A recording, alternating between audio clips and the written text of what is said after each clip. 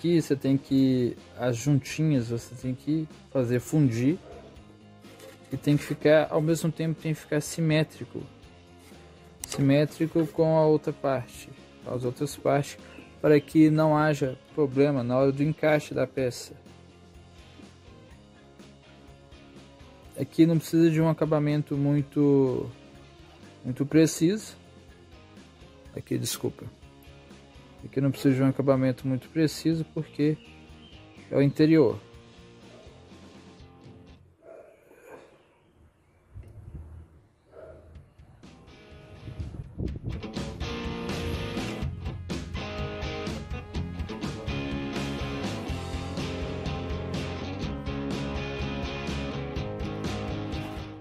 Olha aí,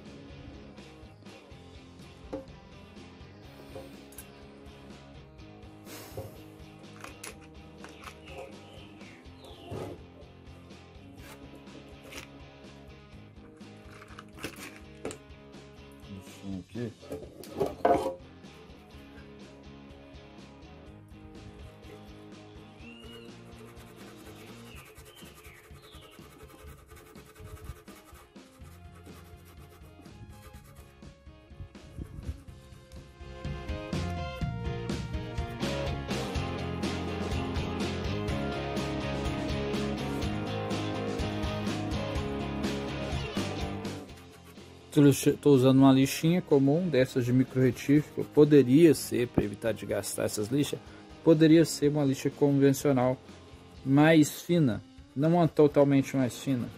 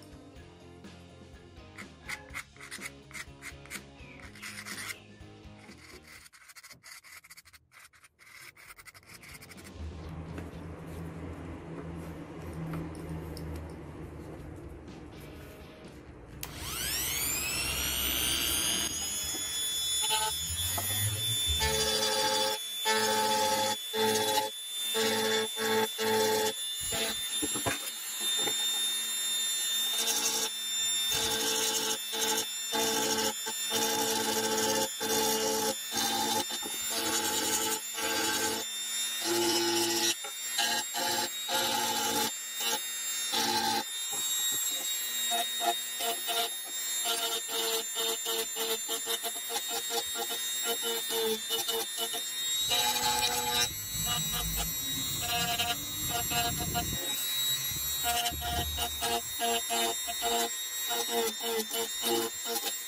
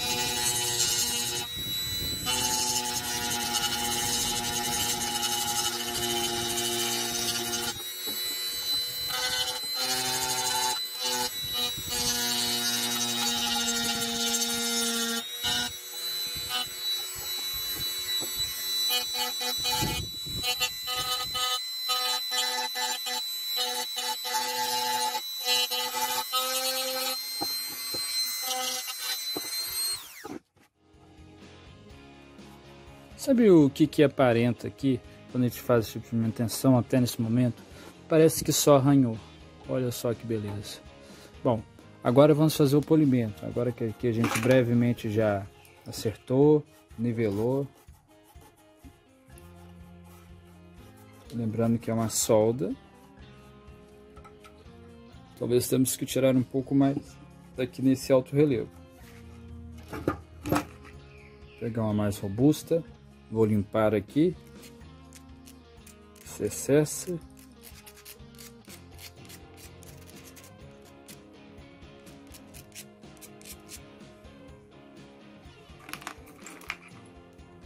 Eu vou utilizar essa aqui que está mais reta. O bom desse tipo de manutenção é que você pode chegar, apertar aqui, já que não é uma manutenção tão bruta, você não precisa exatamente de utilizar a ferramenta manual. Se é com a própria mão aqui, você atarracha. Agora vamos tentar nivelar aqui.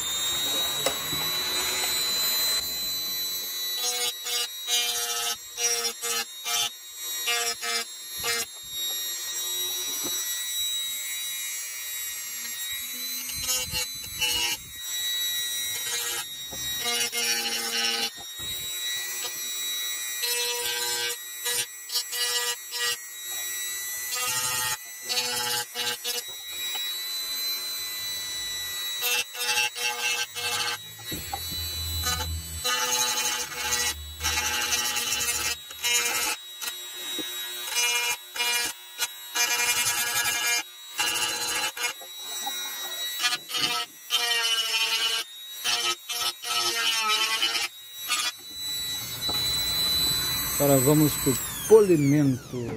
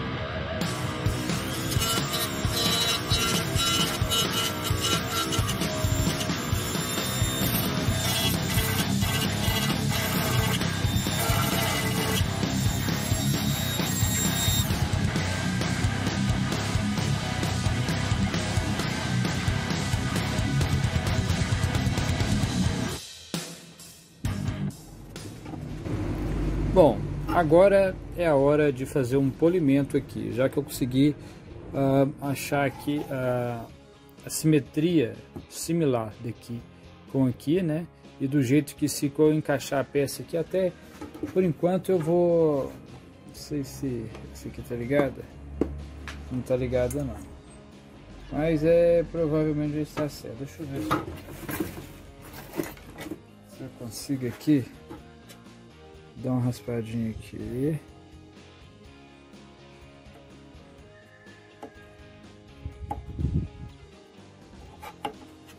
O plástico já está bem duro, bem firme. Deixa eu ver aqui.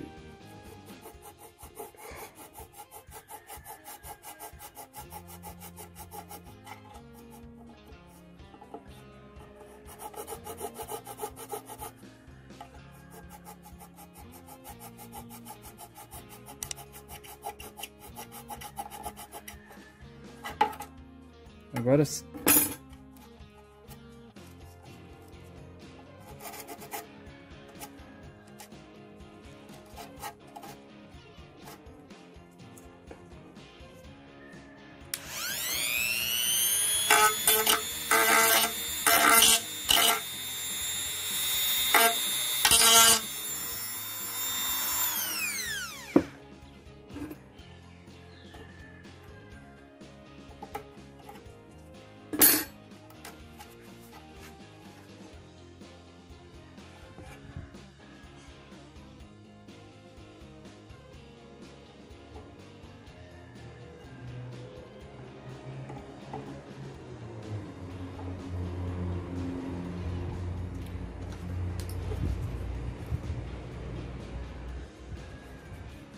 solda aqui, solda aqui. Aqui você pode dar um acabamento com lixamento, mas aqui é interno. Importante é aqui. Importante é lá ficar simétrico para encaixar no carro e aqui a parte de fora. Agora vamos ver o que a gente faz. Lembrando que eu peguei um cabide, que a cor é um pouquinho mais clara do que a peça. Mas vamos ver o que, que acontece aqui. Vamos colocar agora uma massa de polir, né, com um lustrador da micro retífica e vamos ver o que, que vai acontecer aqui. Daqui a pouco eu volto.